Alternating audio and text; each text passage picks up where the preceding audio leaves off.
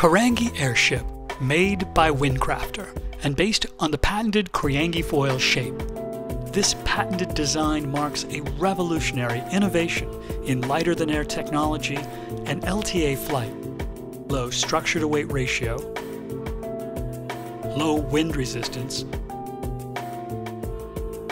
Carangi airships have precise controllable flight and stability in crosswind. Well, we started this project originally because we wanted to use the wind and every other shape that we'd seen, the lenticulars, the, the blimp shapes, all seemed to fight the wind, especially when they were under no power. We put everything into the sailing aspect of it. It can be used in the sky to sail like a sailboat. It can tack. Even under no power situations, we can control our ships, bring it down, land it safely. And I think safety is where it's at. This patented control system gives Carangi airships precise, controllable flight. Nothing's wasted on the structure.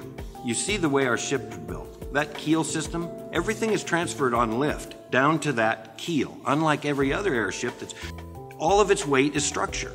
They're wasting all of their payload on structure. The Carangi airship's unique, elegant design is remarkably efficient. The Carangi foil system is not only unique, but it uses the least amount of horsepower, the least amount of gas. It needs the least amount of material to get the most amount of work.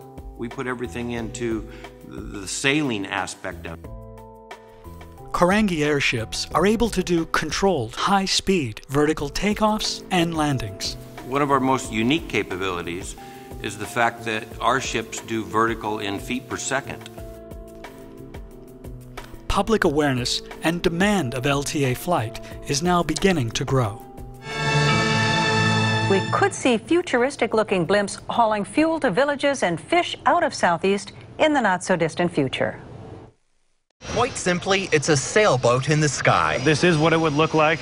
It would have that double teardrop shape. And is meant to get people thinking about the future of aviation.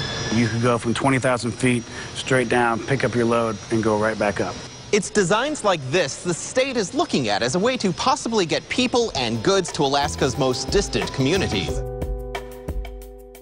This green technology was created by using elemental dynamics found in nature.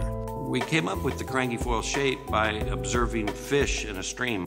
We witnessed the way the salmon were using the stream, the flow, and we knew right then that we could we could use nature, this biomimetic action that we were watching, and we decided that we could foil that, that design and stretch it out and use the wind, which we feel we can sail the skies with our, our shape. It's profound that the oldest flying method on the planet may well be the future of flight. What I see in the future is vertical ships like ours being able to sail the skies like a yacht. Originally, the seagoing ships, that's where it all started. People made money by product moving from where? One place to another. The opportunity is right here in front of us. The air is an ocean that comes to every man's door. We can take you there.